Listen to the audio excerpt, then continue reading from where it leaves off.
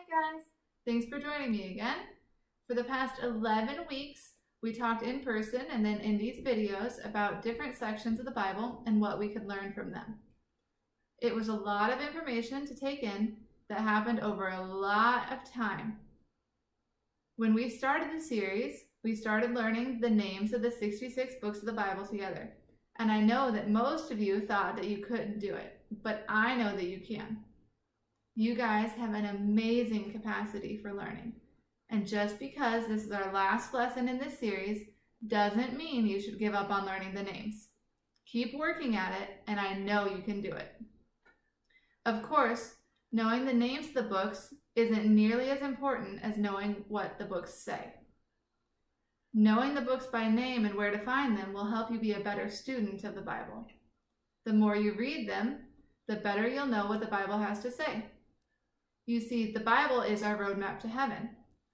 2 Timothy 3:16 says that every scripture is from God to train us to live God's way.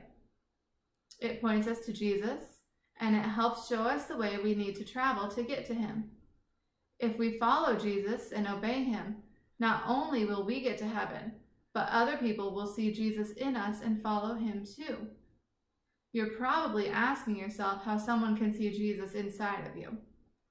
Well, it's through your words, it's through your actions, it's through the look on your face when you don't like what mom says what's for dinner, but you know you have to eat it anyway. It's taking a break from your video game to help your little sister draw a cat because she really wants a cat in her picture, but she can't draw one herself. Or telling your brother good job instead of bragging when you beat him in Uno. It's listening to your cousin's story and not interrupting, even though you don't actually care what they're talking about, but they were so excited to tell you.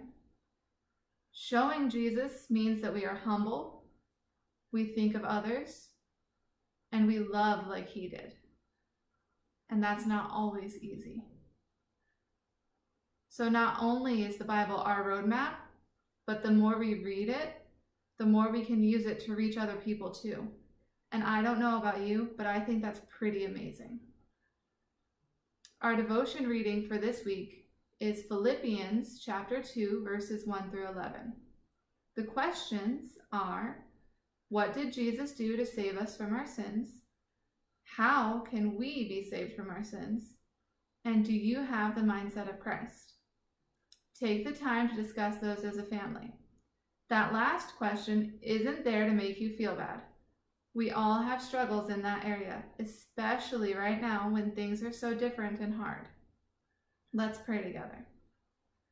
Lord, thank you for all of these families. Thank you for helping us when we struggle. Thank you for providing us with a roadmap for our lives. Help us to grow in our faith. Help us to stay in our mindset like you just be with us. Keep us safe, happy, and healthy in your name, Lord. Amen. Since this is the last lesson in this series, I'm so excited to close this video by introducing our next series. It's called I'm Crafted. The graphic on the screen kind of gives you a clue as to what it's about. It has a little bit of a Minecraft vibe to it. I'm really excited for it. Something this series has that our last one didn't is object lessons. So I'll get to pull random things from around my house to help me teach to you guys. So that should be pretty fun. So I'll see you next week for lesson number one. Bye guys.